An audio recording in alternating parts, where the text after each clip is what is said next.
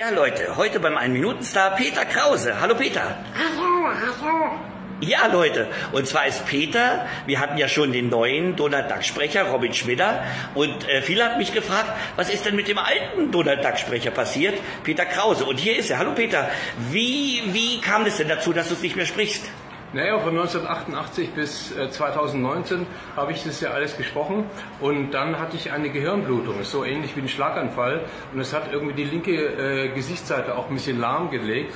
Das heißt, genau die links, linke Backe, wo irgendwie Donald Duck entsteht, wurde im Prinzip, äh, ja, Verstehe, lahmgelegt. verstehe. Und ähm, machst du denn jetzt noch andere Sachen beim Synchron oder bist du jetzt erstmal ganz raus soweit?